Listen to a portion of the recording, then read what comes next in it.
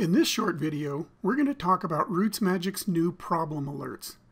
Now, RootsMagic has always had the ability to generate a list of potential data entry problems in your database. Uh, that was under the Tools menu, and it still is under the Tools menu. But we realized a lot of people didn't realize that, that this problem report was there, and so they never actually tried it to see if there were potential problems in their database. So we created a new feature called Problem Alerts. Now with Problem Alerts, what RootsMagic is going to do is display a little alert next to each person's name that has a potential problem. And if you see one of these alerts, which will show up on the pedigree, the family, the descendant view, you can just click on that to see what the potential problems are. And in this case, we see that for James Smith, the potential problems that he has are being uh, buried before he died, and also that his mother was born after he was. Now, from this particular screen, I can select any of these items, and then I can go in and edit the person or the family, um, and, or I can add it to the to-do list. We'll talk about those in just a second. But in the case, for example, of death after burial, I'm just going to go ahead and click Edit Person, and I can see right here that I have a burial date of May of 1889 and a death in 1899. Most likely a typo, uh, but that's one that I would actually want to take a look at and see what's wrong. And I could fix that right here if I wanted because I am in the edit screen.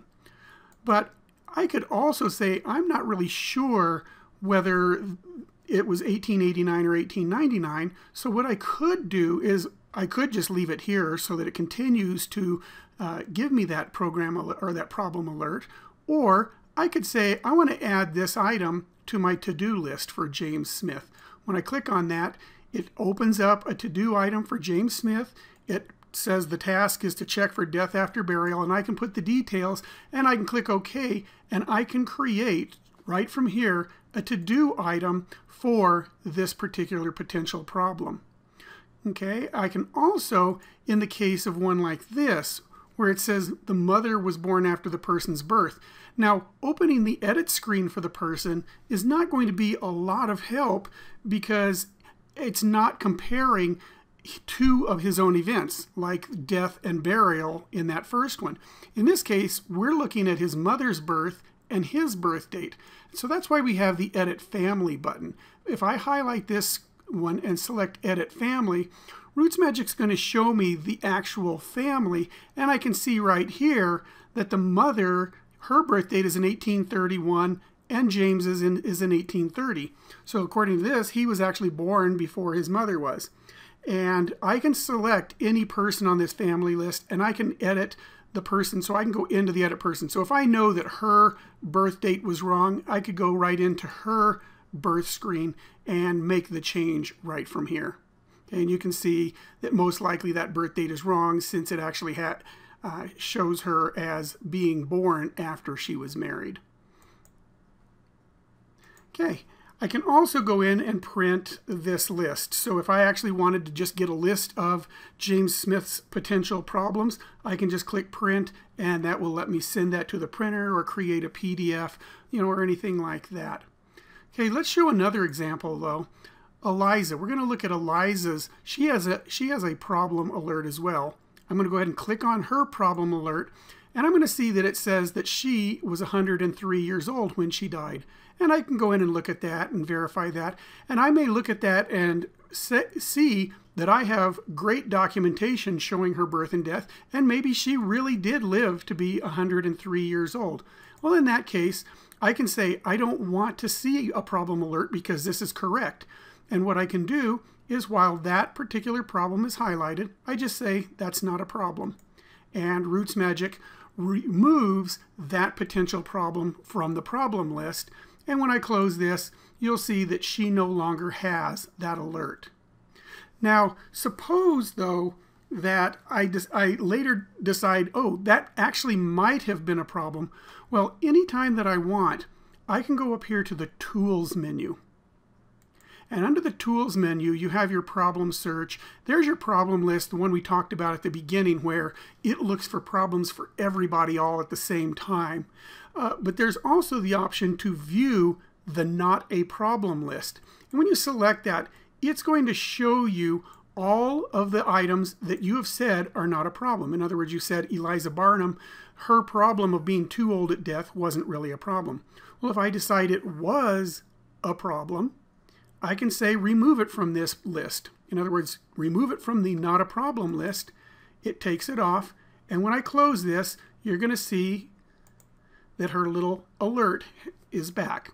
Because now when I go into here, you're going to see that particular problem is back listed as a problem. Okay, now there's a lot of different types of problems that RootsMagic can look for it, to do this alert. And you can turn the alert, the problem alerts on and off. To do that, what you're going to do is you're going to go to the Tools menu again, and you're going to go down to File Options. Now, under the File Options, you're going to see an option right here called Problem Alerts. And if you uncheck this, you won't ever see these little problems. So if you don't want them there, uh, if you think they're too busy or you don't want to be notified uh, that something might be wrong with what you've entered, go ahead and turn that off. You can also choose what particular types of problems RootsMagic is going to look for. So if I click on that, you're going to see RootsMagic can look for individuals without sex entered. So in other words, if you have added a person and you haven't set them to male or female, if this option is checked, you're going to have a little uh, little problem alert if that person doesn't isn't doesn't have male or female set. Proper order of events. That's going to make sure that the events in a person's life are in the proper order. In other words, a person was not married before they were born. A person was not married after they died. Things like that. Okay, you can also check whether or not a person was born before their parents were married.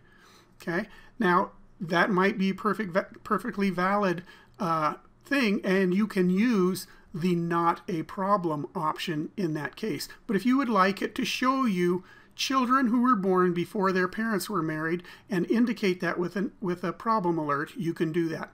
You can also choose to have RootsMagic tell you whether a person was born before their parents were. You can have that it show whether or not a person was born after their father died or after their mother died.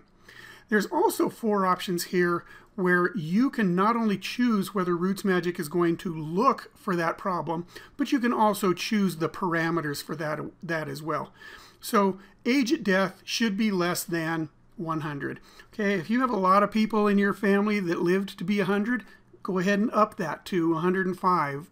If everybody, uh, if most of the people in your family died maybe on the younger side, you can lower that number.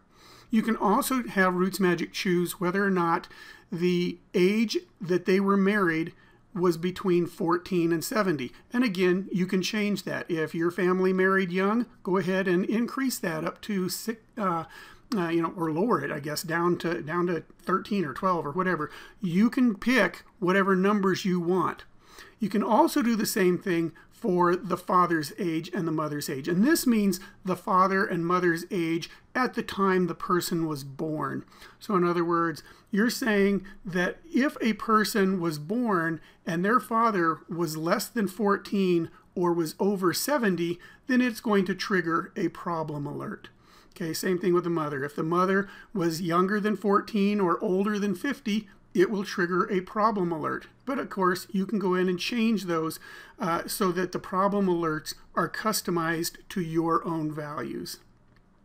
So that is how problem alerts work, and hopefully uh, you will find these to be useful.